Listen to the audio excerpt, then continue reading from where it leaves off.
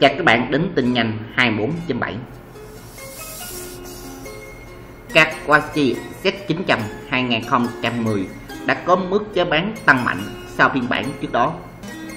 Các Kawasaki Z900 2010 nằm trong danh mục những mẫu xe mới được hãng xe Nhật Bản giới thiệu tại các sự kiện Moto Expo 2019 năm nay.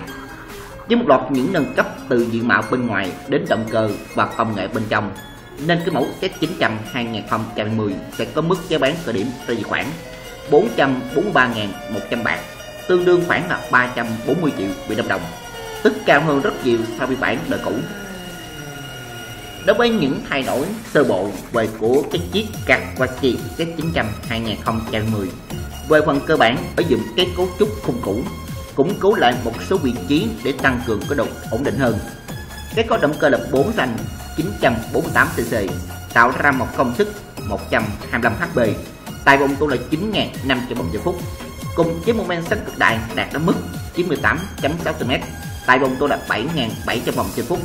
Đi kèm với đó, hộp số số cấp, được tích hợp sẵn công nghệ chống trượt Liberless trong khi đó, hệ thống treo trước vẫn sử dụng cái loại hành trình ngược 41mm và một cái monoshock đặt ở phía sau. Thay đổi chính của cái chiếc Z900 2010 đó chính là cái bộ mặt. Ở dùng cái đèn pha LED hoàn toàn mới.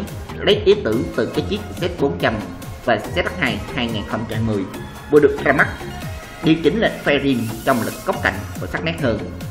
Yên xe mềm, thoải mái hơn, với chiều cao lên tới là 820mm phù hợp với những người có từ chiều cao 1m7 trở lên. Trọng lượng khô được ở mức là 212kg trung tâm tay lái thì cái chiếc Kawasaki Z900 2010 được bố trí màn hình TFT 4.3 inch hoàn toàn mới, có kết nối với điện thoại thông minh Bluetooth. Ngoài ra còn được bổ sung rất nhiều tính năng điện tử rất hiện đại như là trang bị phanh ABS thông minh, Kawasaki Traction Control với ba cấp độ, hai cái mức công suất, công suất đa hoặc công suất thấp 55% và ấn tượng nhất là được trang bị thêm tới 4 chế độ lái khác nhau bao gồm Sport, Cross, Rain và Raider. Lớp xe được chuyển sang cái loại lớp Deluxe Lux Crosssport 2 thế hệ mới nhất 2009.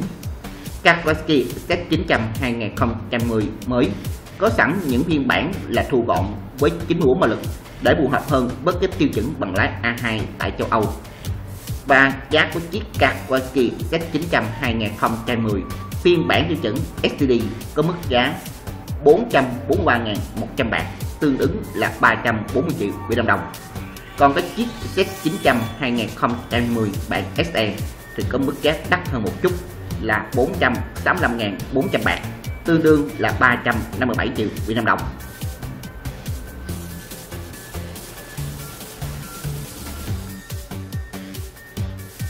Cảm ơn các bạn theo dõi clip này. Và trực tiếp nhớ like subscribe.